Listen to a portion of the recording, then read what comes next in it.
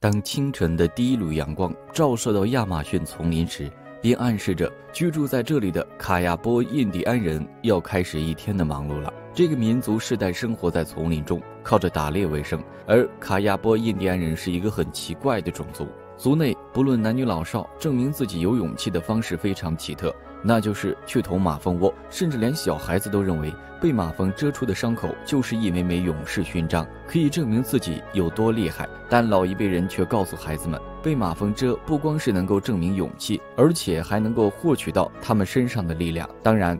这对于现代人来说听起来有些扯，但对于卡亚波印第安人来讲却是无比的相信。卡亚波印第安人的部落基本上都建设在亚马逊河的各大支流附近，一方面是靠着水源方便取水和捕鱼，另一方面则是河边相对来说比较安全。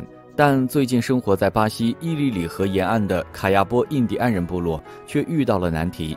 原来，巴西国家电力机构宣布，将在亚马逊上流建设蒙蒂贝罗水电站。这个水电站一旦建成，将造成超过五百平方公里的土地被淹没，同时河里的鱼也会大面积死亡。这会给卡亚波印第安人的生存带来极大考验。几经商讨，族人决定携起手来，共同抵抗建设大坝。但在去之前，卡亚波印第安人想给自己增加点勇气和能量，于是便去丛林中攻击巨大的马蜂窝。巴卡作为部落里的年轻人，自然不肯落后。他从小就在河边长大，深刻知道水源和森林对于卡亚波印第安人意味着什么。所以，巴卡想要去捅马蜂窝，给自己增加一些勇气，去抵抗国家建设大坝。跟巴卡同部落的贝普托伊也想要去捅马蜂窝，只不过他跟巴卡的目的有所不同。贝普托伊只是借此向祖先们致敬。待一切准备就绪以后，巴卡跟贝普托伊在几位老人的带领下走进丛林中去寻找马蜂窝。经过一番仔细的寻找，众人发现了一个超大号蜂窝。他们随即开始搭设简易梯子，为攻击马蜂窝做着准备。在卡亚波印第安人之中，男人出门远征证明自己的勇气，族内的女人也得做点什么，以此来给男族人。加油打气。一般情况下，他们会在攻击马蜂窝的前几天晚上，给男人们跳一晚上的舞助力，同时制作一些丰盛的食物，帮助补充体力。其实，从另一个层面来讲，卡亚波女人们也算是在为抵制建设大坝做出着自己的贡献。当然，如果在必要时，他们也会选择参与战斗。此时，贝普托伊正在通过无线电联系在外面居住的父亲，希望他能赶回来见证自己获得勇气的时刻。但很可惜，贝普托伊迟迟无法联系上父亲，这使得他内心有些失落。隔天，部落里的老人们开始跟巴卡他们讲解关于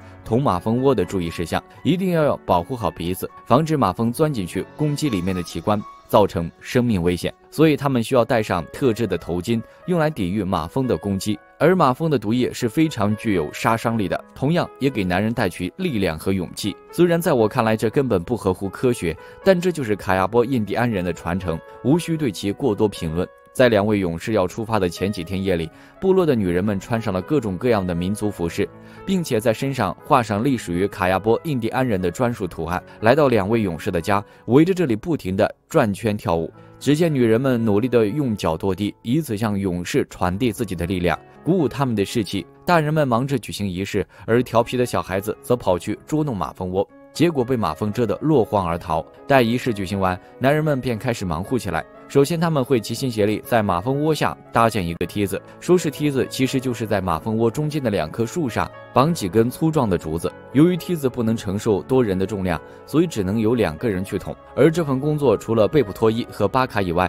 部落里别的年轻人也想尝试一下。既然如此，就要进行简单的培训和测试。当然，这就需要部落老人们的帮助。等到最后，他们挨个上去尝试，看看谁能把马蜂窝捅下来。临出发前的晚上，一位部落的老人提前爬到马蜂窝旁，测量了其大小，并告诉年轻人，让他们做到心中有数。而年轻人则需要彻夜跳舞，使自己陷入疲惫当中，因为疲惫会增加明天他们对疼痛的忍耐力。就这样，年轻人们跳了一晚上的舞之后，精疲力尽的勇士们乘坐小船前往马蜂窝的位置。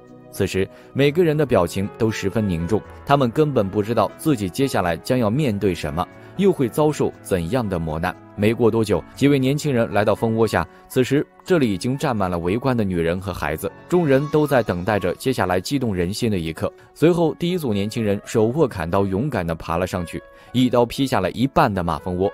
瞬间，马蜂军队倾巢而出，朝着年轻人发动猛烈攻击。很快，他们便被蛰得招架不住，急忙爬了下去。女人们见状，手握芭蕉扇，一拥而上，赶紧帮男人驱散身上的马蜂。此刻，这个捅马蜂窝的男人被蛰得痛苦不堪，掉头四处乱窜。紧跟着，第二组轮到巴卡上场。由于第一组年轻人的干预，现在梯子附近飞满了保护自己家园的大马蜂，但巴卡毫不畏惧，毅然决然地爬上去，对着马蜂窝连劈数刀。顿时，数以万计的马蜂朝着巴卡席卷而来。结果，巴卡在马蜂的猛烈攻击下，也没能将蜂窝砍下来，就慌忙爬了下来。经过一番折腾，精疲力尽的巴卡在疼痛面前屈服了。只见他瘫软地躺在地上，一动都不想动。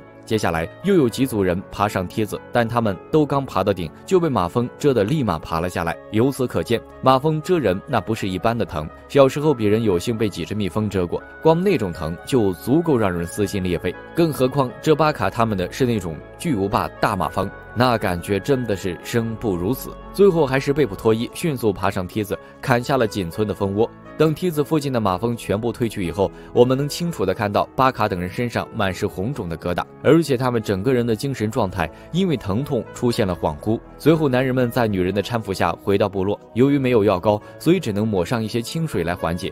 从表情上不难看出，他们已经疼得歇斯底里，绝对是那种锥心的疼痛。其中，巴卡差点被疼晕过去。他只好赶紧让自己睡过去，来缓解痛苦。贝普托伊这边，妻子找来镇静的植物，帮丈夫削减那种钻心的疼，同时还不停地安抚着他，这让贝普托伊感觉到没有那么疼。其实从这不难看出，巴卡属于硬汉硬扛的那种，贝普托伊则是靠着家人的陪伴，而有些人则是往身上涂抹牙膏。看到牙膏，我想到一句话：牙膏除了牙齿刷不白以外，什么都能干，又能止痛，又能消炎。呃，好像跑题了。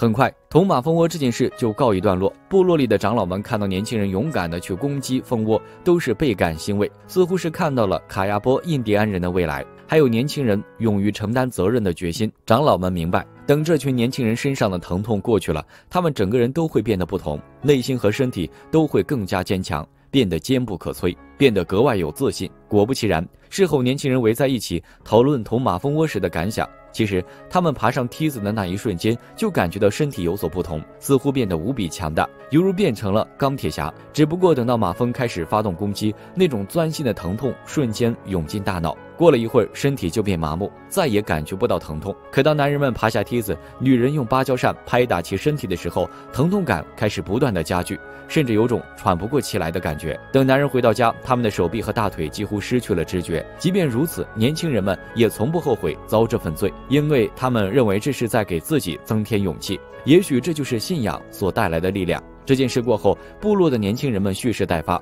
如果真的必须要参与战斗的话，他们已经做好了准备，下定决心誓死捍卫宝贵的森林和河流，保护这片养育他们长大成人的沃土。其实，自二十世纪八十年代以来，亚马逊的所有卡亚波印第安人已经联合起来，反对修建威胁森林生态平衡的大坝。其中，二零零八年在阿尔塔米拉举办的关于修建大坝的公开会议期间，一位巴西国家电力公司的工程师就遭到现场的印第安人攻击，头破血流。在这里，也希望某些国家在建设便民工程时，能充分考虑当地人民的情况和意愿，避免双方爆发不必要的冲突，造成人员伤亡。今天的故事到这里就结束了，喜欢的请关注我，下一期内容更精彩哦。